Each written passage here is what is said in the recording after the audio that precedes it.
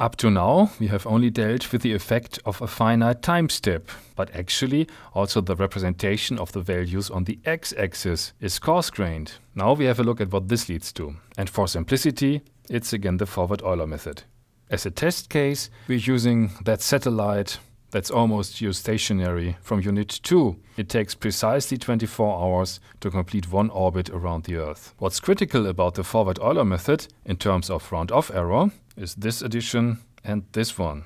x of t is a number of reasonable size. In this case, quite an amount of meters. I'm just drawing some ghost figures here to give an impression. But the step size times the velocity is pretty small in comparison because we're multiplying by that small step size. If the velocity is of reasonable size and we multiply by that small step size, we get a number that's rather small in comparison to x. And then we form the sum of these two numbers and get something that looks like this. But actually, this number again is computed and is being stored at the precision of x. We lose precision in that process. Actually, you see the value of x didn't have enough precision to start with. The smaller we choose the step size, the smaller this number becomes, the more grave the effect of round-off error will be the effect of the round-off error is that we actually are losing the details of velocity and force. We could have gotten away with not computing these digits anyway.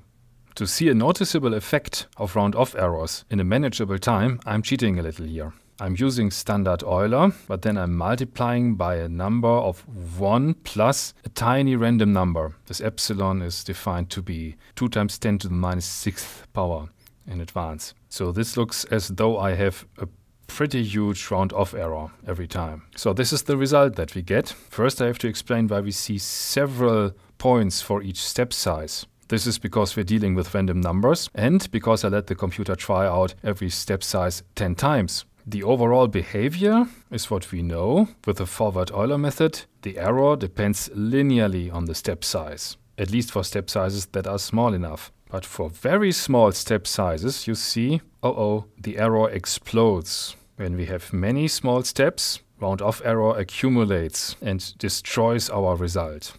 What you should be learning from this is reducing the step size only takes you so far. There is a threshold after which the error goes up again and may become severe.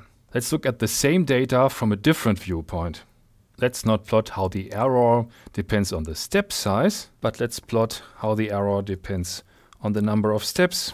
And this is what we get.